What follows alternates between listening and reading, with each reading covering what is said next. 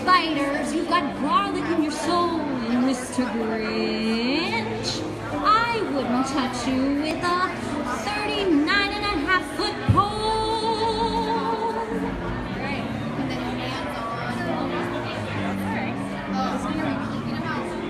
You're foul one, Mr. Grinch.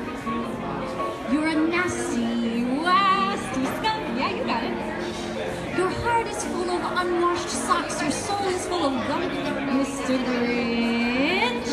The three words that best describe you are as follows, and I quote, stink, stank, stunk. And then uh, half. Okay. So okay. So You're a vile one, Mr. Grinch. I have roasted. You have termites in your smile.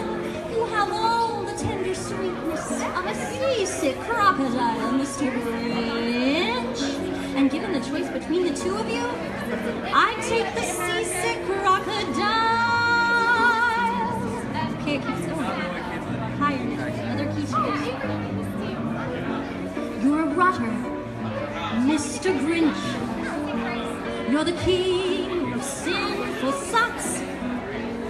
Your heart's a dead tomato splotched with moldy purple spots, Mr. Grinch. Your soul's an appalling dump paper overflowing with the most disgraceful imaginable, mangled up and tangled up knots.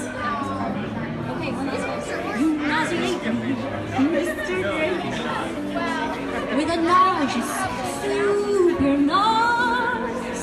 You're a crooked, jokey jockey, and you drive a crooked horse, Mr. Grinch. You're a three-decker sauerkraut and toadstool sandwich with arsenic sauce.